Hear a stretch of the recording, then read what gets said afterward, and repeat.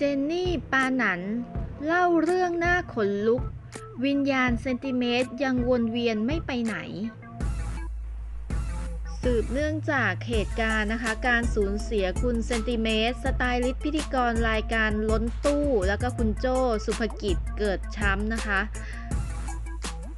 เพื่อนสนิทค่ะของคุณเจนนี่ปาหนันที่เจอรถเก๋งคู่กรณีเฉียวชนตกคูน้ำนะคะ จนเสียชีวิตที่จังหวัดเชียงใหม่ตามที่เป็นข่าวนะคะ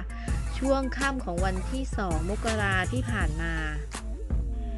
ในความโศกเศร้าสุดอาลัยของครอบครัวและเพื่อนๆนะคะ ก็มีเรื่องเล่าชวนขนหัวลุกเกิดขึ้นค่ะ เมื่อคุณเจนนี่ปาหนันเพื่อนซีของคุณเซนติเมตรนะคะ เผยเรื่องลี้ลับว่า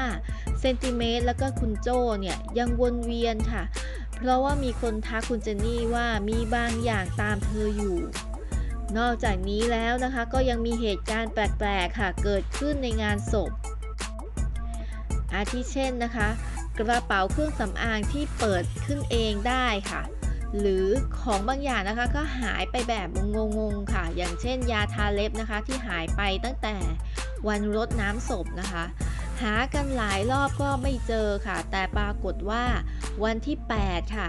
ก็เห็นวางอยู่ที่เดิมค่ะ ขณะที่คนนั่งฟังพระสวดตั้ง 5 วันไม่มีใครเห็นนะคะ คืออะไร นอกจากนี้นะคะก็ยังมีพวกดินสอเขียนคิ้วเขียนขอบตานะคะที่หายไป หายังไงก็หาไม่เจอค่ะและคุณเจนนี่นะคะยังเล่าต่ออีกว่า แล้วคือตอนห้าทุ่มกว่า พี่ที่เป็นหมอดูที่เคยเจอกันหลายปี เขาทักว่ามีบางอย่างตามเจนอยู่นะ อยู่ๆพี่ก็เห็นก็เลยทัก เพราะว่าเป็นห่วง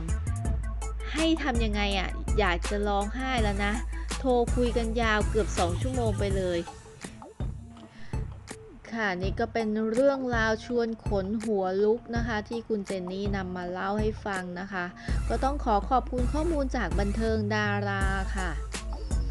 ก่อนจบคลิปนะคะ อย่าลืมกดติดตามแล้วก็กดกระดิ่งช่องเราเอาไว้นะ ถ้ามีอะไรเคลื่อนไหวใหม่ ๆ เราก็จะเอามานำเสนอนะคะ แล้วเจอกันใหม่ในคลิปหน้าค่ะ